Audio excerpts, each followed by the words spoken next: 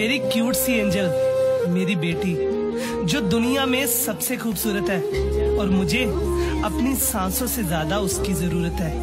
I love you बच्चे। के जैसी प्यारी, इस घर में एक परी है।